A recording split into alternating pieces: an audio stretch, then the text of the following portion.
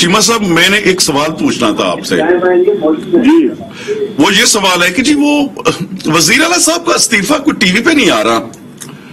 कोई खान साहब ने नहीं दिखाया कि मैंने इस्तीफा एक्सेप्ट कर लिया है या कोई गवर्नर साहब नहीं कह रहे कि मैंने इस्तीफा अच्छा एक्सेप्ट कर जवाब लिया जवाब भी इम्पोर्टेंट है सुनिएगा जी जी नहीं नहीं बासु साहब इसका जवाब मैं ये देता हूँ हाँ। कि मैं चूँकि उस मीटिंग में नहीं था जहाँ पर चीफ मिनिस्ट्री ऑफ़र हुई थी हम्म। तो जहाँ पर इन्होंने एक्सेप्ट की थी चौधरी साहब ने अब वो बेहतर जवाब दे सकते हैं बासु साहब के वो इस्तीफा मीटिंग का तो मुझे पता चला जी सर वो नोटिफिकेशन अभी तक नहीं आया ना तो उस मीटिंग पे का मैं एक सवाल। मैं एक और सवाल मीटिंग का मैं- देखो मैं आपको इसमें। पूछती हूँ। मुझे ये बताइएगा चीमा साहब कि अब चौधरी बरादरान के इख्तलाफात की खबर आई फिर चौधरी साहब चौधरी शुजात साहब की तरफ़ से वजाहत भी आ गई।